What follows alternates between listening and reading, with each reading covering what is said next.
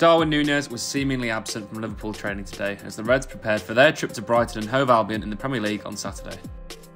As the Reds were put through their paces at the AXA Training Centre in Kirkby, Núñez did not appear in any of the photos released from the session, sparking rumour and speculation of an absence.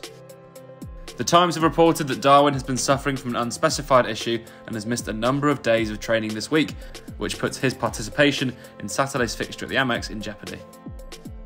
While this cannot be confirmed as true, some fans have taken to Twitter to suggest that the Uruguayan forward is injured, whilst others believe he was absent due to partaking in media duties, with an upcoming Sky Sports interview today, another rumour explaining his absence.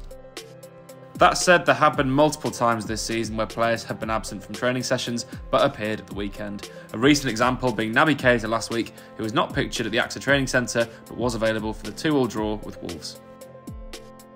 Roberto Firmino, however, was still missing. For the second week running, Firmino has not been pictured in training and he did not appear against Wolves at the weekend. The Brazilian's calf injury was expected to be short term, however, the signs aren't looking good for the forward amid much speculation over his future with his contract expiring this June.